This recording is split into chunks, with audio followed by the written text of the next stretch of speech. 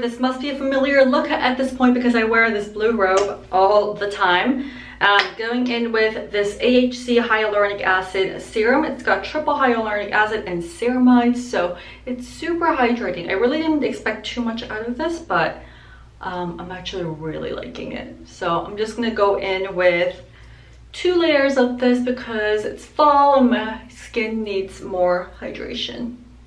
All right, so after this, I'm gonna try making some spinach banana muffins.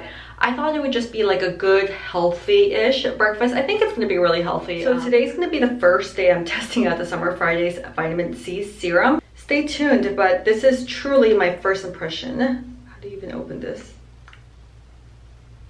Oh, there you go. Spin it around and then let's see. Ooh, it's got a milky, silky texture. Uh, doesn't really have a strong scent or anything. So far, I really like how it applies on the skin. So that was day one and let's just keep using it throughout the week and see how it helps because I do have some redness in my cheeks. So hoping that helps calm it down. Okay, now let's go to the kitchen and bake. Right, so these are all the ingredients for the spinach banana muffin.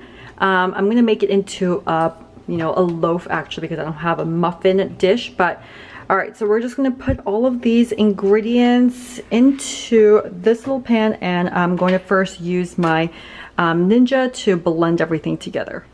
Oats first. And then we're gonna add in some milk. Today we're gonna use all almond milk for this. So one cup of milk in here, one egg. Some recipes say two, but I'm just gonna go in with one egg because I already added a lot of milk in there. Add in my banana. Then let's add in the spinach. So I have these spinach frozen. It's from Trader Joe's. And then key ingredient here is actually adding some olive oil in here. Um, I'm just gonna add a little bit because olive oil is just so good for reducing fat. So I love using olive oil, a lot of olive oil in anything. This bottle can go very quick. So don't be scared of your oils. Adding some honey. I'm just trying to get rid of all of this honey at this point because I'm probably not going to buy another Trader Joe's. I just want to try more organic honeys out there. Try to add in some collagen powder whenever I can, whether it's in like a smoothie, whether it's in my drinks or muffins. This is like when you try to put in like greens to your um, kids' um, drinks. This is what I do to make sure I can add in plenty of collagen. Put in a little bit of vanilla extract, soda, soda,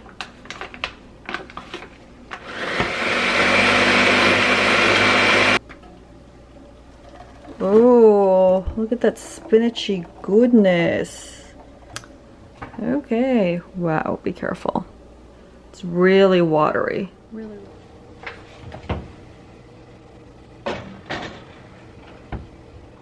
Okay, so wait for my delicious loaf to bake up. I'm gonna catch up on some work right here and then have my beverages. So I always start off my day with a hot lemon tea. It really just starts off my metabolism. It's really good for your immune system. And the thing is I just love drinking hot beverages to start my morning off. And on days when I'm just like lazy to make my own matcha latte, I already cooked. So today is the day when I'm gonna go in with my pressed juicery. Um, matcha oat milk. Um, this is not sponsored or anything, but I just truly, truly love this drink. I love oat milk in my drinks. So the fact that they came out with a matcha oat milk drink in one and it's for $5, pretty damn revolutionary. So I had to from my work and read a little bit and I just munch on a bag of blueberries because they're so good.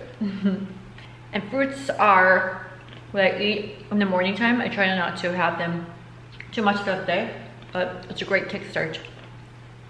Okay, so now we have to taste test this. I actually just put it in the oven for like 40 minutes, but that was too short, so I just ended up putting it in for an entire hour. So I'm super hungry right now. Mmm, not bad. Not bad, guys. I can really taste the banana the oats a little bit. Wow, I'm so impressed. Mm, yeah, I'm the type of person who just eats out of the dough pan directly. Look at this gooiness. Oh my god. Hmm. so good, guys. I'm gonna have to eat this whole thing now. So happy. All right, so I'm gonna eat this as like a breakfast brunch because it's already kind of late now. And then have some snacks, get a smoothie, and then I'm gonna go to my facial. I'm so excited about the facial. It's by Face House, the Upper East Side. So I'm gonna trek over there, get my little facial because my skin just feels a little dull lately. I'm in the Upper East Side, about to get a facial, absolutely zero makeup, just have some SPF in, and then let's go again.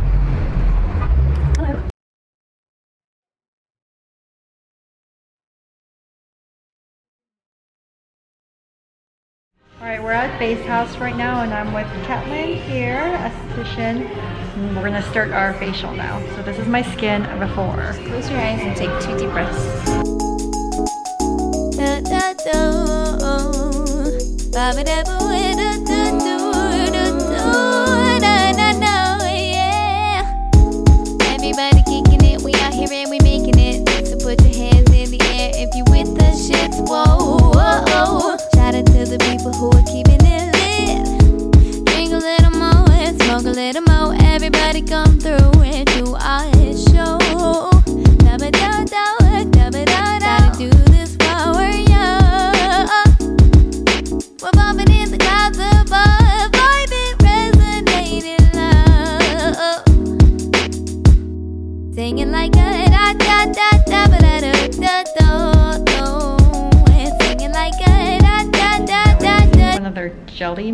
Their mask bar.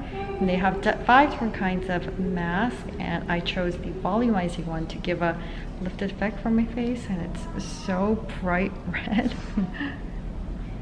How long do we put this on for? This stays on for about 15 minutes. 15 minutes.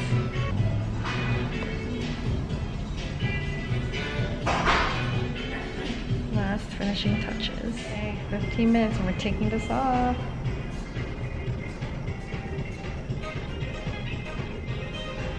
So satisfactory. oh!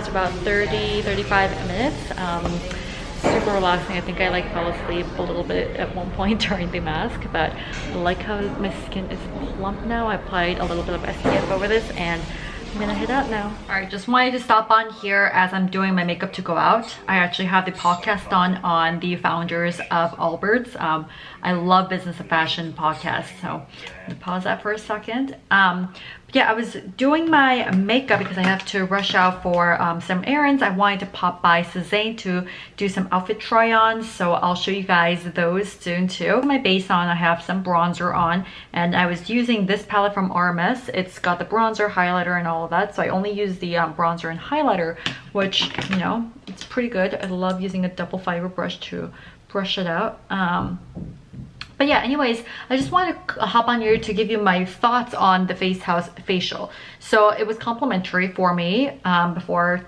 tips and gratuity and it's $65 usually for like a 35 minute treatment. That's how long I was there for. And would I pay $65 to go back again to get that same exact facial? The answer is probably no because I really felt like most of the things that they did there I can do at home. Um, it's luxury of being a doing a facial, but then again, it took me like 30 minutes to get there and back. So, but it was cool because we got to steam my face. We did some exfoliation and we did some rub cool rubber mask. So I think after any kind of rubber mask, your skin is going to come out looking really good. Like the Dr. Jart rubber mask, you know? So something that I can easily do at home. It's a luxury of going to a facialist and just lying down and letting them do their work on you. I will say after that, my skin was very plump um, to the point where like I barely had to put on any kind of foundation or concealer. Like I'm wearing zero foundation right now, just a little bit of um, concealer. That's pretty much it. So right after facials that's pretty common you know like your skin is very dewy plumpy. So overall like i had a pretty positive experience in the fact that like my skin is looking very good. Um the only thing is like the esthetician that worked on me like i wasn't super impressed because she didn't really seem to know that much honestly about my skin in general because i wanted a skin consultation that's part of it and like she was just like, oh, your skin doesn't seem dry. It doesn't seem dehydrated. It doesn't seem like uh, nothing. So I was like, okay, so what, what does my skin look like? You know, she just like couldn't even like analyze it correctly and couldn't even like, I don't know. It was just like kind of like bleh by that part of it. But anyways, you guys want an honest opinion, so I provide my honest opinion. I love going to facials, not too often, but I do love them. So it's a little treatment to myself but I would not pay for it. All right, well, I'm just gonna continue finishing this makeup look and then I will cut back. All right, we are now in Soho, my favorite neighborhood, and I'm gonna walk towards one of my favorite stores here. It's like the prettiest little store here.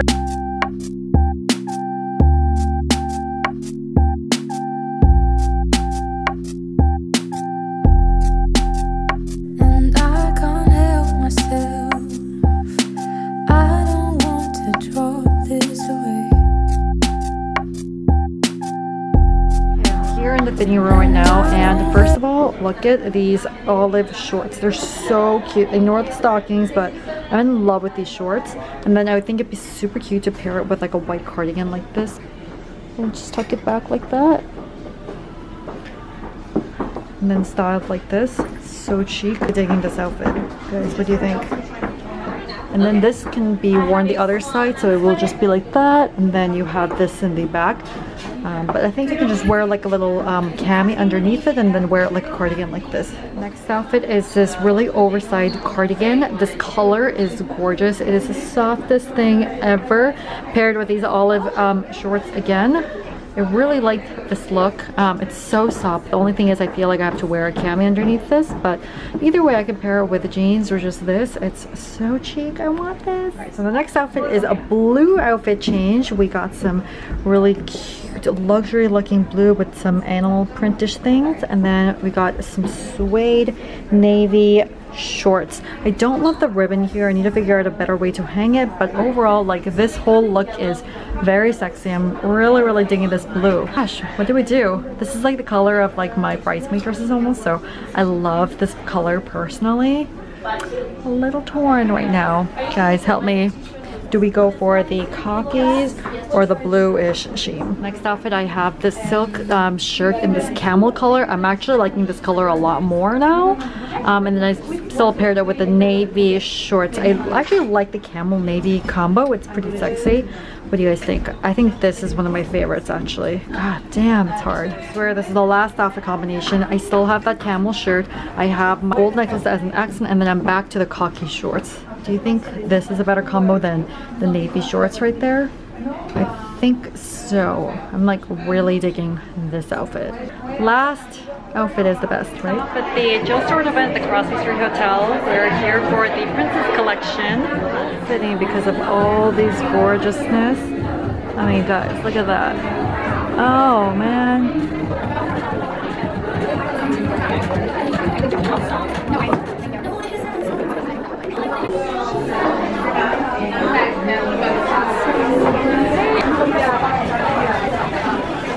People are getting their makeup done. It's so pretty. Everyone's getting their princess collection done. Hello. Okay guys, I feel like it's been a really long day. I'm finally home. It's like almost, um, it's 8.45 p.m. right now. And I'm just trying to eat some dinner, but while I was in Chinatown today, I picked up some pork buns. These are like my absolute favorite. They were um, a dollar and fifty for this big pork bun. So that's gonna be half my dinner today. Oh God, here's the spot. You guys enjoy following me today on this journey and I'll see you guys next time.